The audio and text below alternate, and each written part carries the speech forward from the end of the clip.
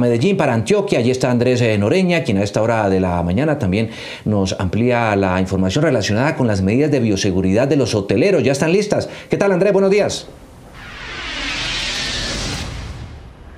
Juan Diego, televidentes, muy buenos días. Primero hay que indicar que el lunes pasado el sector hotelero, todo el gremio, envió una carta al gobierno nacional en la que incluso le indica las pérdidas que ha tenido durante estos meses de aislamiento obligatorio, cerca de 2,6 billones de pesos. Recordemos que en el país unos 120 mil personas que dependen directamente eh, su trabajo del sector hotelero. Pues estamos en el lobby de uno de esos hoteles, justamente es el hotel que va a empezar con el piloto de reapertura inteligente a partir del próximo lunes, el Hotel Dan Carton aquí en Medellín y vamos a mostrar algunas de sus medidas de bioseguridad. Por ejemplo, en el lobby, el separamiento través de stickers, también la zona de desinfección y aquí los botones con todas las medidas de seguridad. Pero adicionalmente hay otras que les quiero mostrar y le voy a pedir a mi camarógrafo que me acompañe aquí lentamente y es en los ascensores.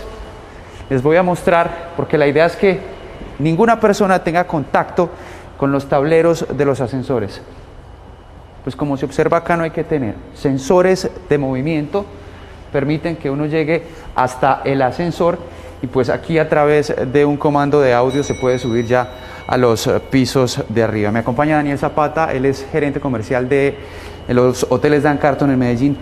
Daniel, muy buenos días. ¿Cómo va a ser esta reapertura a partir del lunes en medio de este protocolo de bioseguridad y en medio también de este plan piloto que ustedes tienen. Bueno, buenos días Andrés, televidentes. Eh, en medio de este protocolo eh, direccionado por la OMS, vamos a hacer un eh, manejo desde el 1 de junio hasta el 30 con este piloto de apertura a partir del lunes a las 11 de la mañana, donde vamos a tener todas las medidas dispuestas para ya empezar a recibir uno a uno los huéspedes locales preparándonos así para un próximo eh, evento nacional que sea en julio, cuando los vuelos nacionales empiecen a operar. ¿Eso quiere decir que cualquier persona puede venir el lunes aquí al hotel, instalarse aquí? Claro que sí, la idea es em, empezar este piloto local, como le digo, si alguien quiere pasar un fin de semana diferente ya o estar fuera de su casa, el hotel ya está preparado con todo este Hagamos claridad en algo. Eh, una de las cosas en las que más han hecho hincapié las autoridades en cuanto al tema de la bioseguridad y la higiene son las zonas húmedas. ¿Eso va a estar en uso o no? No, las zonas húmedas todavía están cerradas hasta que el gobierno nacional, por medio de la OMS, autorice esta apertura